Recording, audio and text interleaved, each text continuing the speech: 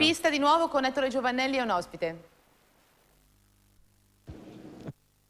Allora, Flavio Briatore, questa volta le Renault sembrano un po' più in difficoltà e comunque sul ritmo di gara sembrano andare bene. Cosa ti aspetti da questa gara? Cosa speri?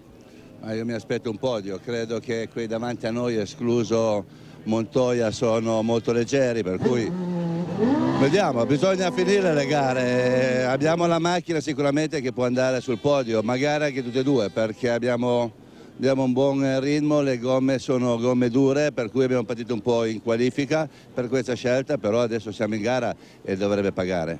Grazie. Ciao.